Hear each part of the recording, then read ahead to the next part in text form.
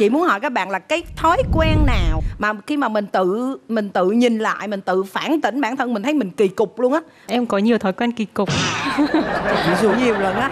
Vâng ạ, nhưng mà nó thường chỉ liên quan đến trang phục hoặc là một cái ờ, gì đấy liên quan đến sự sắp xếp thôi Vì em cũng ờ, có hơi hướng OCD một chút. Tức là khi em đi phơi quần áo thì em rất thích xếp các cái móc mà nó phải đều nhau ấy. Tức là em phải căn làm ra là các cái móc nó đều nhau và xếp. Ví dụ như hôm nay em mặc cái áo này với cái chân váy này thì phơi phải cạnh nhau cái quần tập này với cái áo tập này thì phải phơi cạnh nhau. Em cảm thấy như thế mới vừa mắt ý.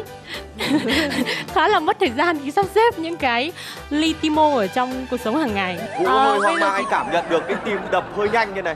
không không cái cái cái này cái này bấm bấm đèn bấm đèn à? bấm đèn bấm đèn à? tại sao tại sao bấm đèn? Vũ tại sao Không, bấm đèn? ờ, em cũng có một chút kinh nghiệm với người OCD Ờ, và, Ồ. và nghĩa là nói chung là ờ, không sao. Ờ, em thích. Thế là mình không phải mình nắm được điểm yếu của đối phương rồi Ờ.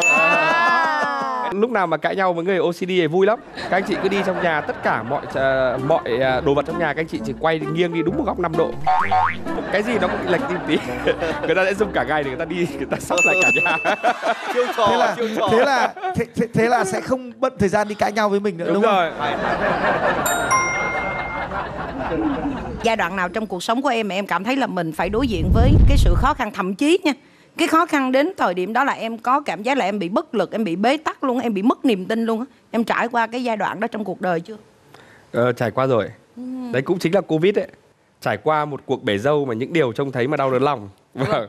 Thế thì ờ, ở trong cái ờ, ba năm covid ấy thì ờ, nó dạy cho cá nhân em rất nhiều bài học.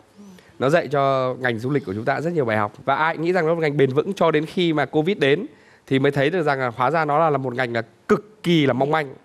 Khi cả thế giới chỉ cần hắt hơi thì du lịch ốm hết ốm liệt giường luôn. Đấy thì à, đấy là về uh, vĩ mô.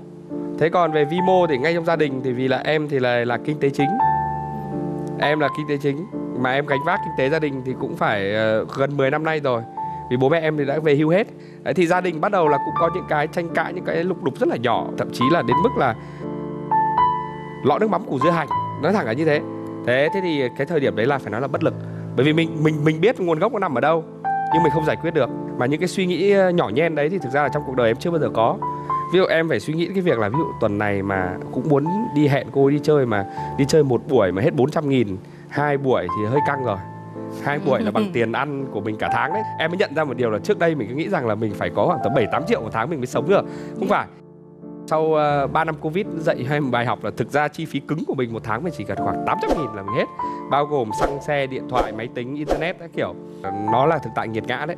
Ờ, nó cũng giúp mình trưởng trưởng thành hơn và rút ra nhiều bài học. Sau covid em ngay lập tức đi tìm một người bạn đồng hành một người bạn đời. Là đúng rồi. Đúng rồi. Bởi vì ai biết ngày mai thế nào.